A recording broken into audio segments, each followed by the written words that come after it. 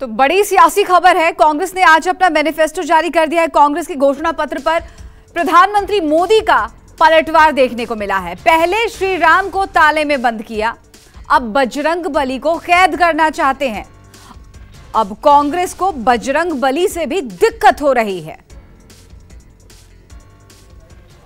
जब मैं आज हनुमान जी की पवित्र भूमि को प्रणाम करने के लिए आया हूँ उसी समय कांग्रेस पार्टी ने अपने मैनिफेस्टो में बजरंग बली को ताने में बंद करने का निर्णय किया है।